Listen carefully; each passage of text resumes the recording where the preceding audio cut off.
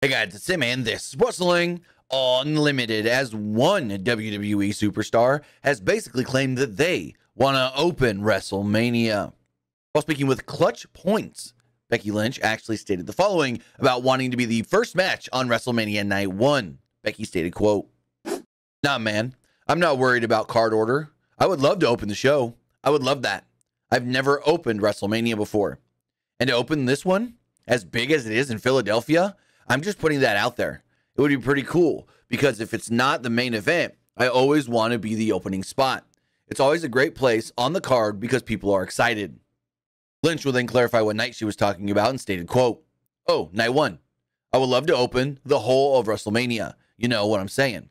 Just to be the first match of the whole event. Opening the show will give me enough time that I can relax and enjoy Colby main eventing WrestleMania and getting to watch him do that because that will be so special. So basically, Becky Lynch has two reasons why she wants to be the opening match of WrestleMania. A, because she thinks it would be something cool to do that she hasn't done before. And B, by the time that she has come down from the high of doing her match, calmed down and stuff, and just gotten to a place where she can enjoy the rest of the show, she'd be there to watch her husband, Seth Rollins, perform in that tag team main event on night one. Go ahead now, let me know your thoughts in the comments below. Would you like to see Becky Lynch versus Rhea Ripley in the opening match of night one of WrestleMania? And if not, what match would you like to see open WrestleMania night one?